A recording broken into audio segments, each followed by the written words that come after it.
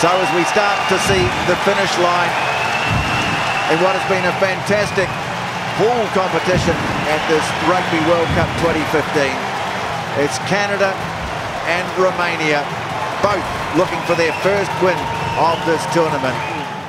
Five offsides. Thank you. And advantage being played. Van Heerden was offside. Hirayama looking for a gap. Almost found one.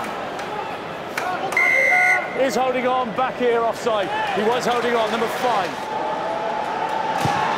Canada lead, three to nil. Chance now for Canada. Hassler juggled, but held by Sinclair. Jones swings it wide. Hearn.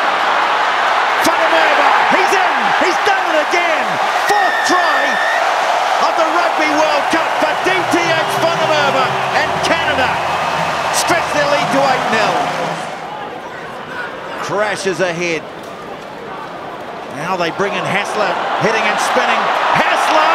Oh boy, what a try! Oh, Canada!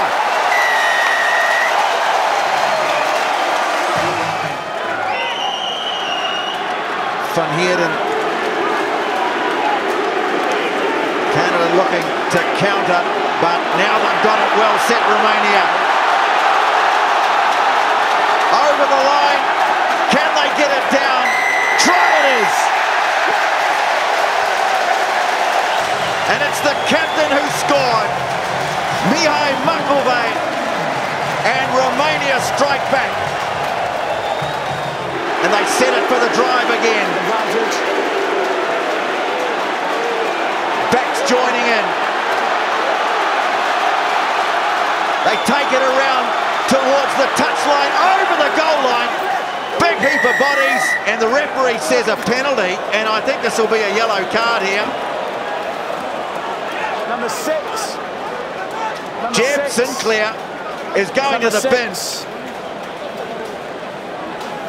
In at the side and collapse.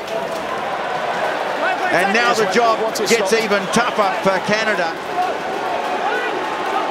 Again, it's screwing around. It's picked up by the skipper. He's put on the ground by Mack, but he's scored! And it's a penalty try, I think.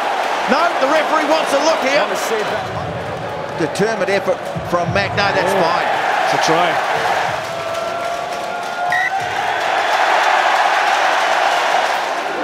Well, they could try and milk a penalty at the scrum here, Romania. That's what they're going to do. Scrum breaks. Ah, penalty!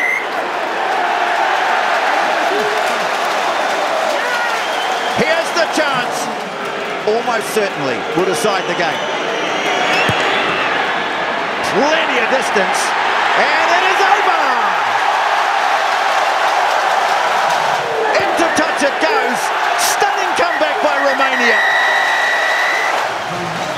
Jamie Cudmore and Canada denied. Well, Florin Vlaicu, Mihai Macovei, the captain, special heroes. But for Romania, they're all heroes today.